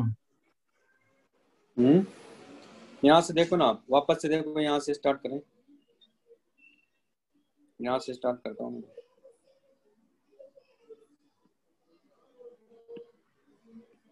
यहाँ से देखो आप। यहीं से स्टार्ट किया, देखो ये टी बी लिखा मैंने, क्योंकि बी देखो टी बी इधर ही लग रहा है। लेकिन यहाँ जाओ। ये रुका हुआ है ये पुली रुका हुआ है दोनों का क्या हो गया? Zero zero. फिर यहाँ आ जाओ।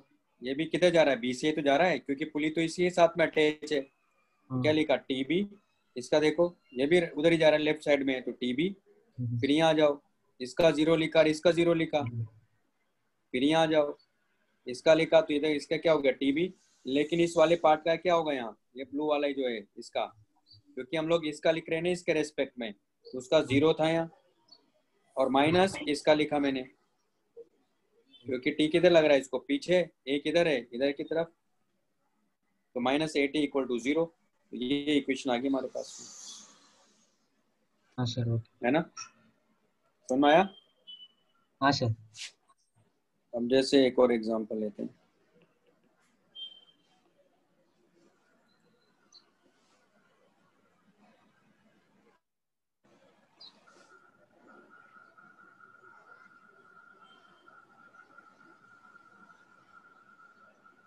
ये एंगल थीटा है।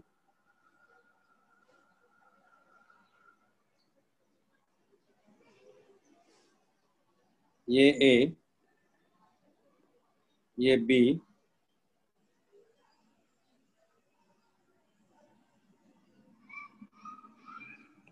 अब इस केस में ये फिक्स नहीं है। ये यहाँ रखा हुआ है। ये वाला फिक्स है, वो ब्लॉक फिक्स नहीं है सी ब्लॉक अब आपको रिलेशन बताना है। मान लेते हैं कि ये ग्राउंड के रेस्पेक्ट में कितने से आ रहा है? सी से आ रहा है। सी जो ब्लॉक है ग्राउंड के रेस्पेक्ट में सी से आ रहा है। ये मान लेते हैं ए थ्री से आ रहा ज़्यादा अच्छा रहेगा।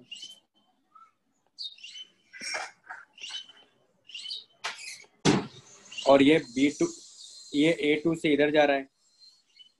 ये ग्राउंड के रेस्पेक्ट में इसका एक्सेलरेशन है, इसका भी ग्राउंड के रेस्पेक्ट में ही है।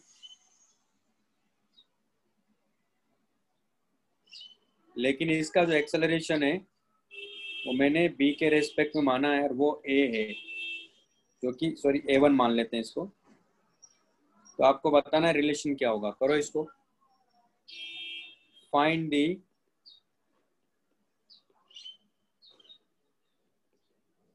relation between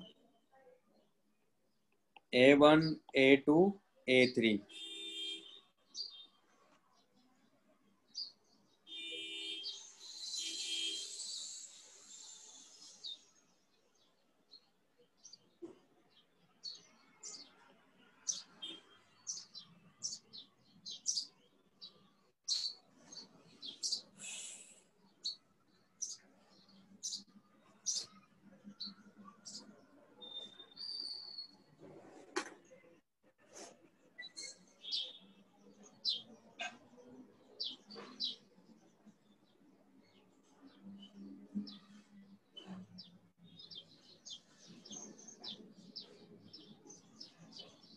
हो गया सर क्या रिलेशन आ रहा है?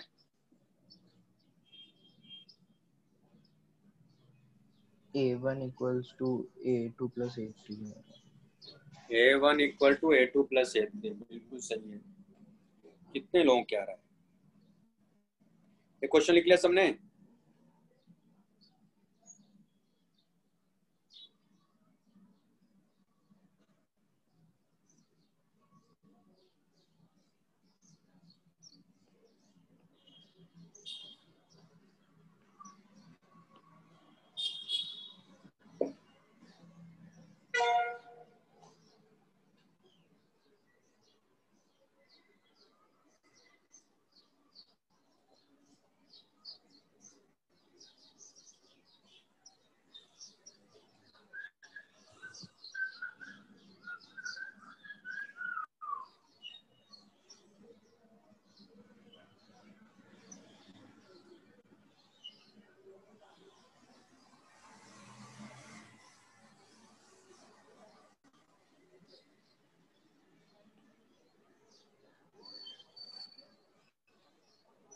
हो गया, सर।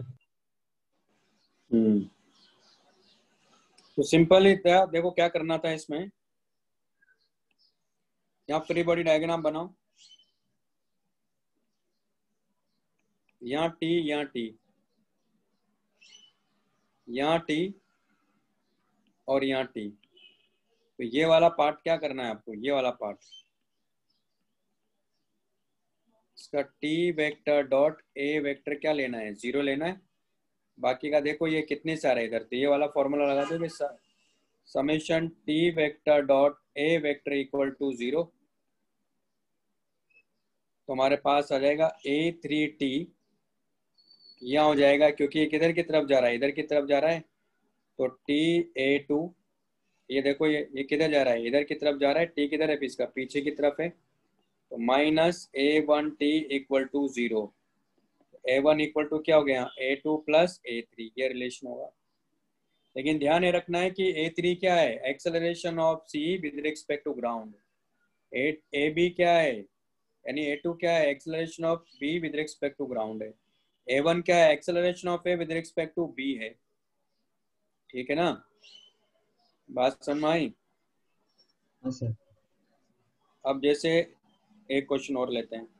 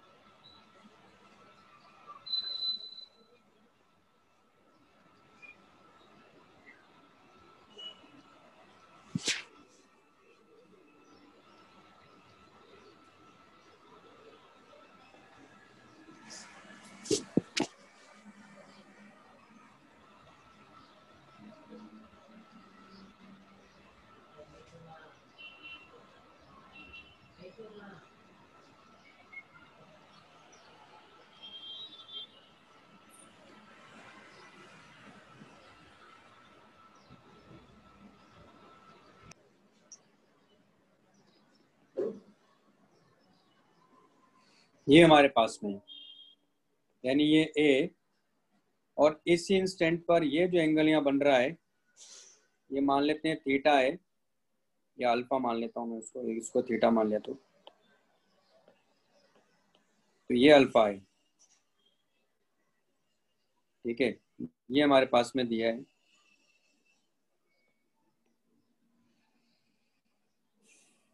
तो मैंने मान लिया कि ये जो वेज है इसकी वेलोसिटी मान लेते हैं वी नॉट है। यानी ये बी है। तो ग्राउंड के रेस्पेक्ट में वेलोसिटी वी नॉट है, आपको बताना है ग्राउंड के रेस्पेक्ट में ए की वेलोसिटी क्या होगा। फाइंड दी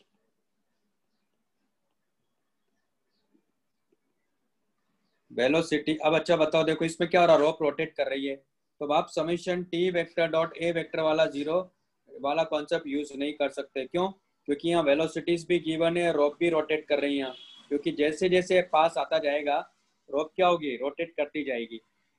है ना? हरी बात समझ में इसलिए इसलिए मैंने वेलोसिटी पूछा यहाँ। तो फाइंड दी वेलोसिटी और ये मान लेते हैं कि ये एंगल मान लो 60 डिग्री मान लेता हूँ मैं। और ये मैं मान लूँगा कि ये भी 60 डिग्री है मान लो। ठीक है? फाइंड दी वेलोसिटी ऑफ़ और ये मैंने मान लिया कि ये टू मीटर पर सेकंड है मान लो। Find the velocity of block A block A. अब ये, इसका मतलब क्या हुआ? ये नहीं कह रहा हूँ, मान लो किसके रेस्पेक्ट में। मतलब ये होता है जिस मेंशन नहीं किया कि किसके रेस्पेक्ट में। मतलब ग्राउंड के रेस्पेक्ट में। करो तो इसको। Find the velocity of block A बाकी सब दिया हुआ है आपको।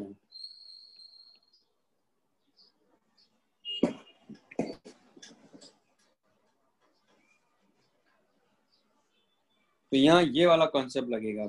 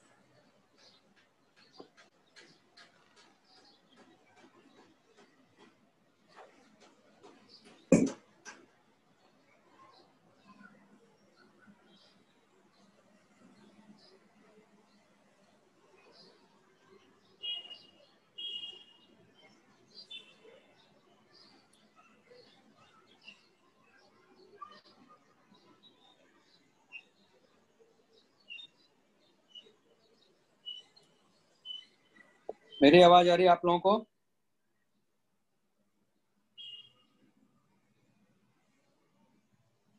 आवाज़ नहीं आ रही क्या? आ रही है सर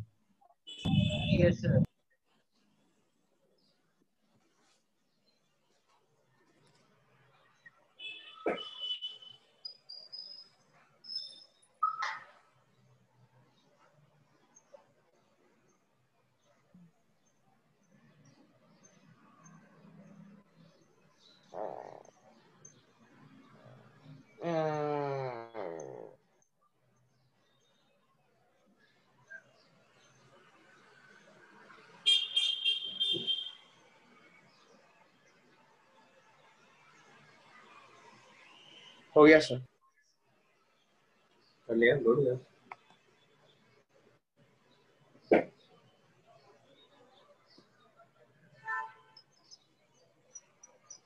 दिख रहा है ना स्क्रीन देखते हैं अभी क्या आंसर है।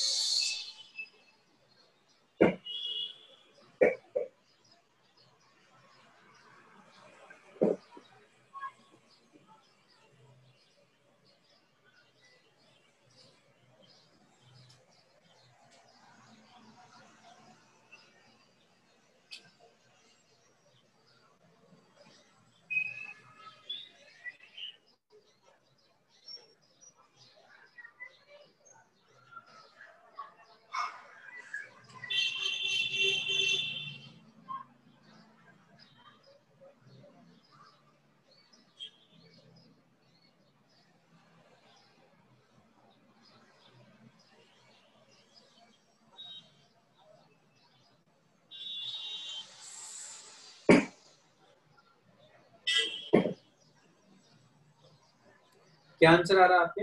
हो गया सर थ्री मीटर पर सेकंड चलो देखते हैं। बताऊँ क्या? सर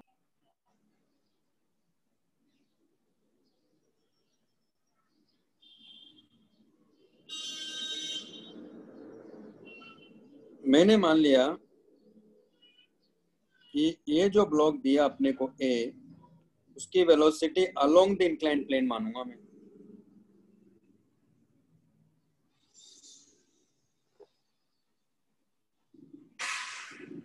मैंने इसकी velocity along the inclined plane मान लिया। कि यू है, मान लो। इसको टी ऐसे लग रहा है, इसको टी ऐसे लग रहा है।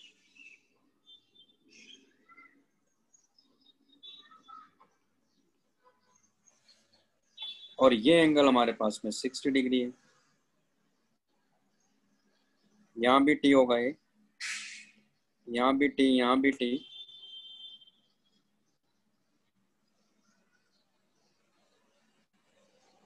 और यहाँ भी टी है, यहाँ भी टी है।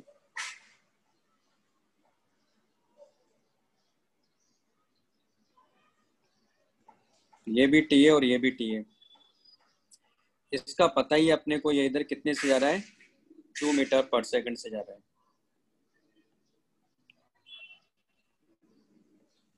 अब कांस्टेंट लगाते हैं तो इसका तो क्या लेना है आपको? ज़ीरो लेना है। T vector dot B vector equal to zero लेना है। ये तो टी है। तो यहाँ ये जो वेलोसिटी हमने लिया दरअसल ये velocity of A with respect to P है। तो कांस्टेंट लगाओ। Summation T vector dot B vector equal to zero तो माइनस टी यू इसका ज़ीरो इसका, इस वाले का ज़ीरो प्लस इसका देखेंगे। तो आप देख रहे हो कि इधर कितने से जा रहा है? यहाँ एंगल कितना है? 60 डिग्री यहाँ हो जाएगा plus T into two cos sixty इसका ज़ीरो इसका ज़ीरो ज़ीरो प्लस ज़ीरो अब इसका plus two into T equal to zero तो टी तो यहाँ ज़ीरो नहीं है। कितना आ गया? Minus U plus two into one by two plus two equal to zero तो आप देख रहे हो टू से टू भी चला गया। तो यू इक्वल टू कितना आया? थ्री मीटर पर सेकंड लेकिन ये तो आंसर नहीं है। ये तो velocity of A with respect to ground है। मैंने क्या पूछा? वेलोसिटी ऑफ़ ब्लॉक ए बताओ। तो ये थोड़ी कहा मैंने velocity of block A with respect to block B बताओ। वेलोसिटी ऑफ़ ए का मतलब वेलोसिटी ऑफ़ ब्लॉक ए का मतलब है विद रिस्पेक्ट टू ग्राउंड ही होना। ये तो रिलेटिव आया है। तो ग्राउंड के रेस्पेक्ट में निकालेंगे। कैसे निकालेंगे? तो आपको मालूम है ये ब्लॉक देखो कैसे जा रहा है। ये ब्लॉक किधर जा रहा है? कितने से? थ्री मीटर पर सेकंड से। तो इसको रिजोल्व करेंगे ना हम लोग। ये एंगल कितना होगा? 60 डिग्री और ये कंपोनेंट होगा। यानी velocity of A with respect to B equal to velocity of A with respect to ground minus velocity of B with respect to ground ये वी ए बी वेक्टर कितना है यहाँ? Three cos 60 i cap minus के साथ। Minus three sine 60 j cap equal to V A vector minus two I cap, क्योंकि ये right side में जा रहा है ब्लॉक भी। तो हमारे पास V A vector equal to आ गया two I cap minus three into one by two I cap minus three root three by two J cap.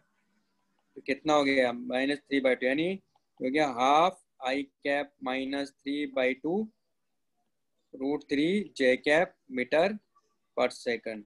तो ये आंसर आना चाहिए। ये हमारे पास में आंसर होगा। सर लिख रहे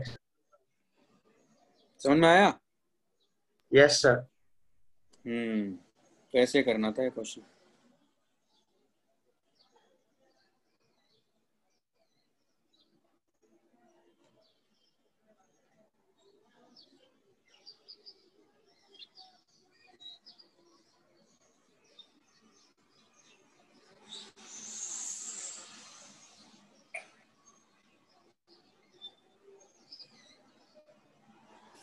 Miércoles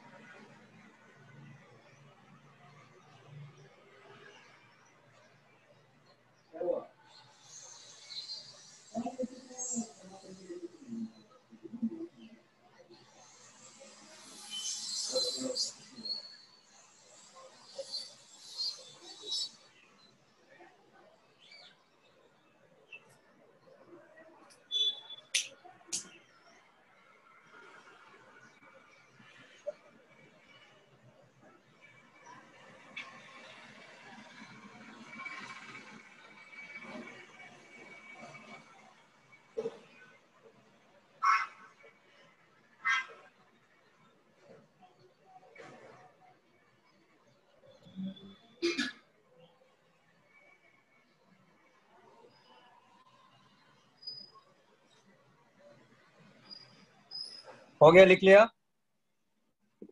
yes sir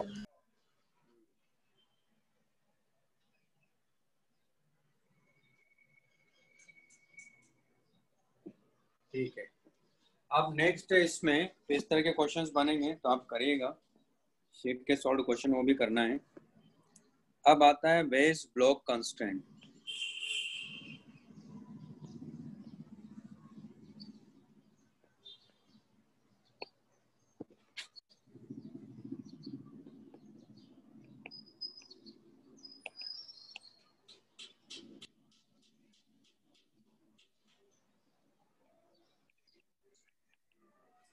base block constant motion.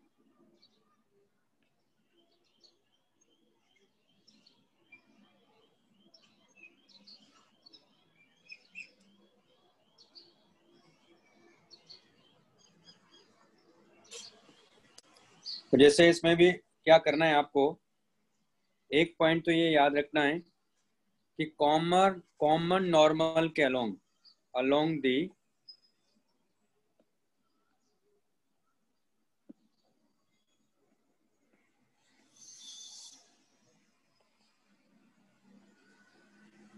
along the common normal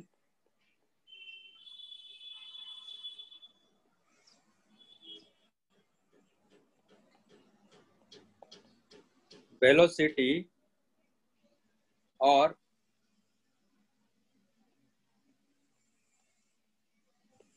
component of velocity along the common normal velocity or component of velocity.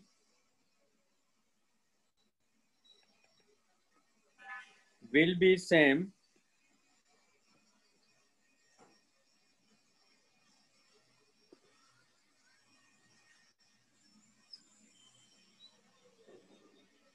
Along the common normal velocity or component velocity will be same for the objects. जैसे एक simple सा example लेता हूँ मैं। वैसे question में करवा भी चुका हूँ एक बार। जैसे मान लो अगर मैं इस एग्जांपल की बात करूँ कि मान लो ये ब्लॉक है। और एक ब्लॉक यहाँ है। ये ब्लॉक ए है और ये ब्लॉक बी है। और इसको हम लोग पुश कर रहे हैं एफ़ फोर से। तो ए और बी का जो कॉमन नॉर्मल होगा, वो किधर होगा? ओरिजेंटल डायरेक्शन होगा। क्योंकि इसका एफ़ बी डी बनाओ। तो आप देख रहे हो कि इस ब्लॉक पर, अगर इस ब्लॉक ए की बात करूँ मैं तो इधर फोर्स क्या लग रहा है? एफ़ और इधर फोर्स क्या लग रहा होगा इसको? एन वन मैंने मान लिया एन वन होगा, मान लो इन दोनों के बीच में। और इसको किधर लग रहा होगा? बी को। इधर लग रहा होगा एन वन तो आप देख लो कि कॉमन नॉर्मल ही है ना, तभी तो दोनों का एक्सलेशन क्या होता है यहाँ? सेम होता है। और वेलोसिटीज भी क्या होगी? सेम होगी। अच्छा तो वो वेलोसिटी के लिए भी है। है ना? तो एक पॉइंट तो ये होगा अलोंग कॉमन नॉर्मल वेलोसिटी और component of velocity will be same for the objects और दूसरा?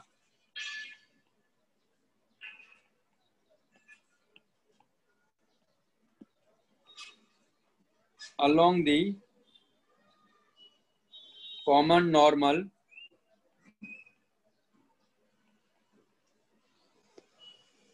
Acceleration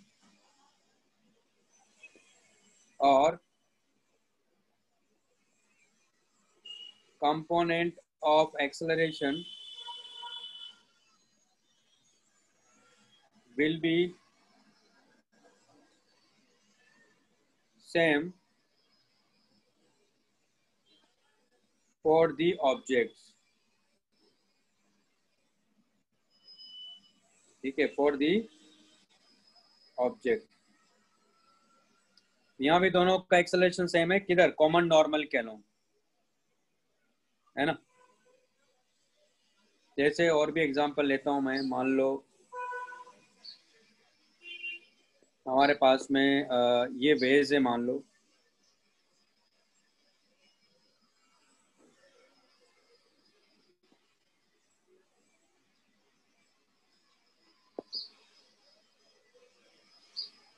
और ये ग्राउंड है।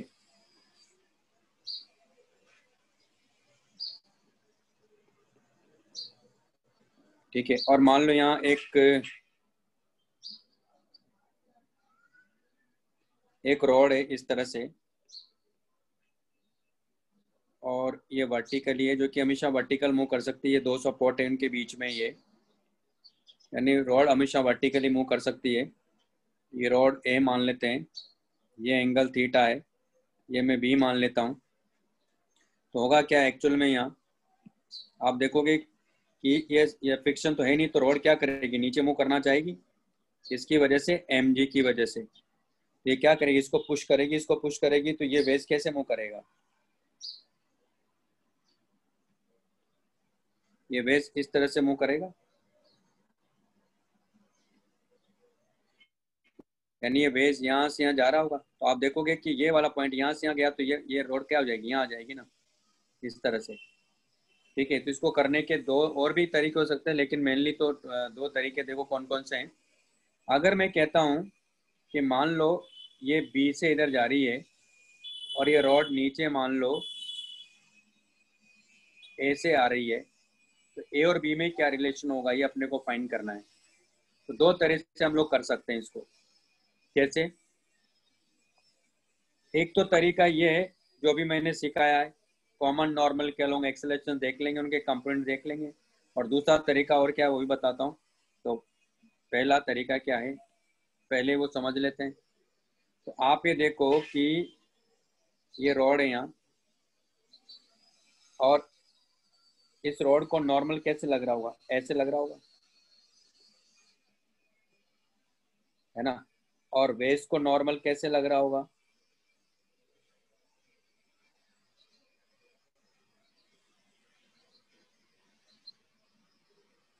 ये थीटा है तो आप देख रहे हो कि ये रॉड नीचे की तरफ़ मुँह करेगा ए से। इधर जा रहा है बी से, लेकिन इसका नॉर्मल तो इधर होगा ना। मैंने क्या कहा? कॉमन नॉर्मल कह लो तो आप देखो ध्यान से। यहाँ अगर आप जाओगे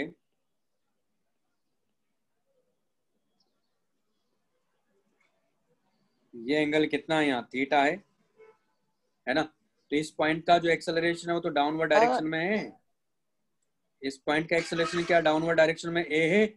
और इस पॉइंट का एक्सेलरेशन इधर की तरफ़ क्या है? बी है। तो ये एंगल कितना है यहाँ? थीटा तो कॉमन नॉर्मल कैलोंग बी का एक कंपोनेंट क्या होगा?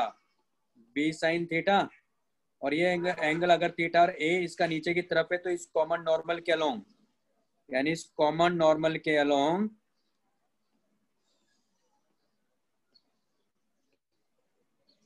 इसका जो एक्सेलरेशन मैं नीचे की तरफ़ मान रहा हूँ ए तो हमें मालूम है कि ये एंगल कितना निकल के आता है, क्योंकि ये थीटा है यहाँ। ये एंगल थीटा है तो ये एंगल थीटा है। इसका एक कंपोनेंट क्या होगा? ए के अलोंग ए कॉस थीटा होगा। तो मैंने क्या कहा? यानी एक कॉस थीटा इसका इधर की तरफ़ है। कॉमन नॉर्मल के अलोंग यानी A cos theta equal to क्या होना चाहिए? बी साइन थीटा यानी ए इक्वल टू क्या हो गया? बी साइन थीटा ये रिलेशन आएगा। ये बात समझ में आई कॉमन. नॉर्मल के अलोंग हाँ बोलो। और एक बार वापस वो कॉर्नर में क्या नापना है? पहल, ये कॉर्नर में ना ये ये तो इसका लिखा मैंने इस वाले का। हाँ सर वो एक एक cos थीटा एन के डायरेक्शन में है ना? मतलब जो नॉर्मल हाँ क्यों हाँ एन की डायरेक्शन में क्योंकि ये एंगल थीटा है ना यहाँ। तो फिर ये जो एंगल है यहाँ का ये वाला एंगल भी तो थीटा है ना ये। हाँ। सर ये एंगल थीटा हुआ कि नहीं हुआ ये? हाँ। हाँ? यहाँ देखो देखो आप पास से समझ आया? हाँ सर हुआ वर्टिकली अपोजिट ले रहे ना? हाँ सर अब जैसे सेकंड मेथड क्या है?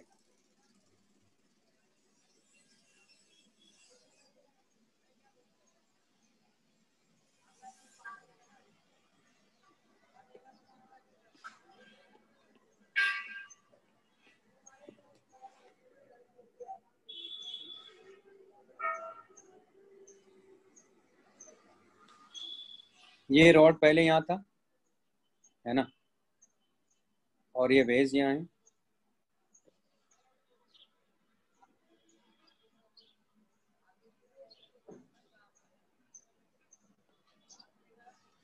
ये एंगल थीटा है।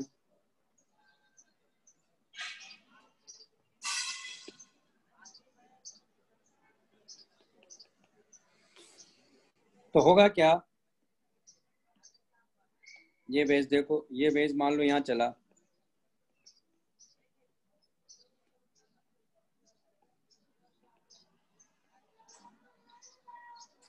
तो ये एंगल थीटा है।